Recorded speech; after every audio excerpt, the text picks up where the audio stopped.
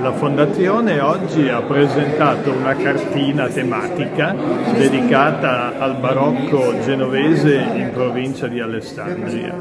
Non è solo una cartina, va detto subito, è un'iniziativa che si collega a tante altre cose, progetti, eh, concerti, mostre eh, presenti sul territorio nostro e vuole essere un invito a scoprire un patrimonio culturale importante della nostra provincia, da sempre eh, entroterra e retroterra culturale di Genova e della sua realtà.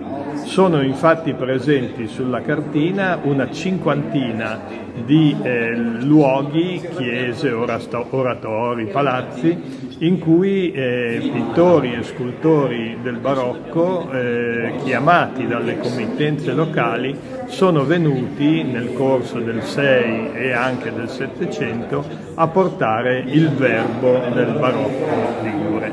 I comuni coinvolti sono più di 30 e quindi questa iniziativa è diventata un'occasione per lavorare insieme. Eh, tutti i comuni importanti del sud della provincia, eh, insieme a Tortona, gli uffici beni culturali delle diocesi, Alex Sala, le associazioni musicali che organizzano festival come Alessandria Barocca e non solo e Festival Ecos.